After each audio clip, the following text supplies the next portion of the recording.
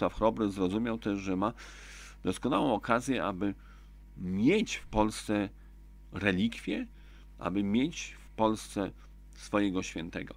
Dlatego, jak twierdzi Galanonim, wykupił zwłoki świętego Wojciecha za cenę złota. Galanonim twierdzi, że zapłacił za nie tyle, ile one ważyły.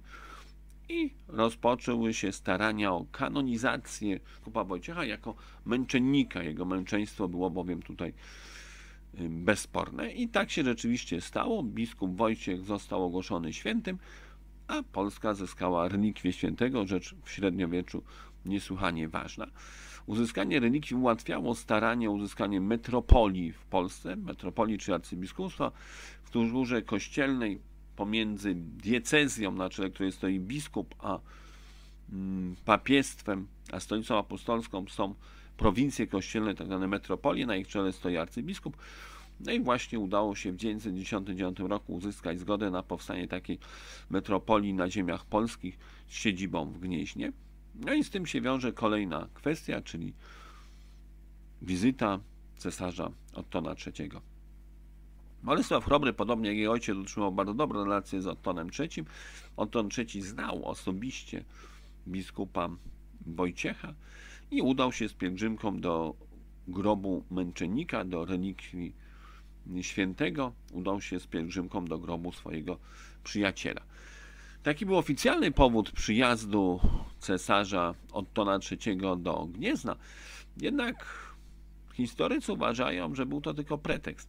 Trzeba sobie zdać sprawę, że w ówczesnych czasach bardzo rzadko się zdarzało, żeby władca opuszczał swój kraj, żeby cesarz opuszczał Rzeszę i udawał się gdzieś do jakiegoś dalekiego, peryferyjnego kraju. To się zdarzało bardzo rzadko. Trzeba pamiętać o innym poziomie łączności i transportu.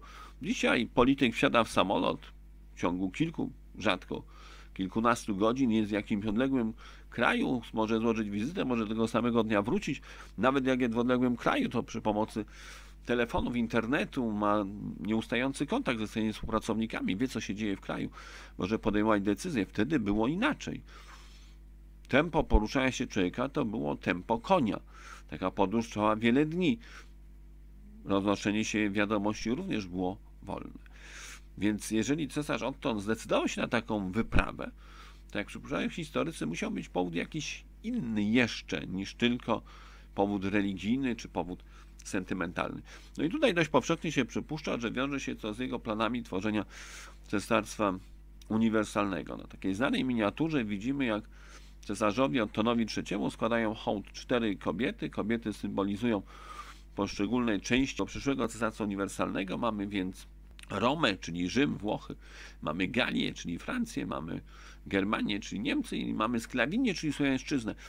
I powszechnie się przypuszcza, że Otton III chciał pozyskać Bolesława Chrobrego do właśnie tych swoich planów, tworzenia Cesarstwa Uniwersalnego, że widział Bolesławie Chrobrym kogoś, kto mógł być władcą właśnie Słowiańszczyzny. Jak twierdzi polski wybitny historyk Gerard Labuda, obrady synodu rozpoczęły się w Gnieźnie, bowiem ojciec święty Sylwester II i cesarz Otton III zwołali do Gniezna synod, na synod ten przybył osobiście Otton III, przybył również wysłannik papieża kardynał Robert, no i ten synod połączony z gniazdem gnieźnieńskim miał się rozpocząć 8 marca 1000 roku według Gerarda Labudy. Biskup niemiecki historyk Titmar tak opisał przybycie cesarza do Gniezna. Gdy Otton ujrzał z daleka upragniony gród, zbliżył się doń boso ze słowami modlitwy na ustach. Jego, to jest Gniezna, biskup Unger, przyjął go z wielką czcią i wprowadził do kościoła, gdzie zalany łzami prosił świętego męczennika o wstawiennictwo, by mógł dostąpić łaski Chrystusowej. Y, dwa dni później, 10 marca, ogłoszono akt utworzenia metropolii gnieźnieńskiej. Pierwszym metropolitą został Radzim Gaudenty, brat świętego Wojciecha. W skład metropolii weszły trzy nowo utworzone biskupstwa w Kołobrzegu, Krakowie i Wrocławiu oraz w nowych granicach biskupstwa w Poznaniu. Podczas zjazdu doszło też do słynnej sceny opisanej przez Galla Anonima. Cytuję tego pierwszego polskiego kronikarza. Zważywszy jego, Bolesława chwałę, potęgę i bogactwo, cesarz rzymski zawołał w podziwie. Na koronę mego cesarstwa to, co widzę, jest większe niż wieść głosiła.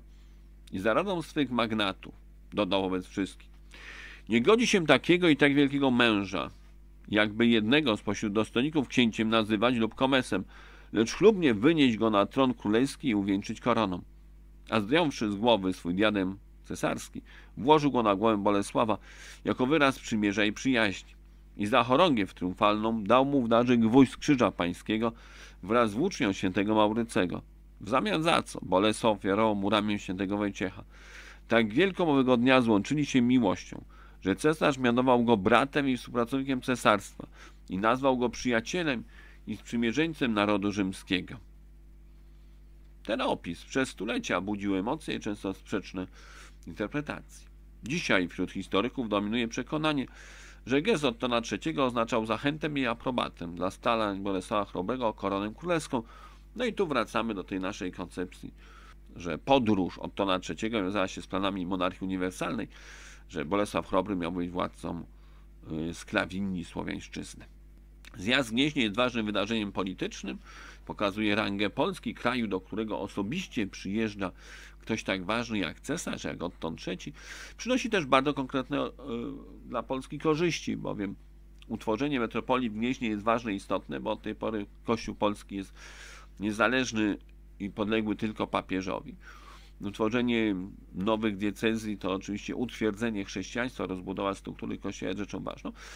Y, tu również cesarz zgodził się na inwestyturę kościelną dla Bolesława Chrobrego, czy Bolesław Chrobry miał wpływ na to, kto jest biskupem na jego terenie, co było rzeczą. I na koniec przypominam, że informacje o kolejnych wydarzeniach dnia znajdziecie Państwo na moich profilach na portalach społecznościowych Facebook i Twitter użytkownik Barzanin 1768. Życzę dobrego dnia.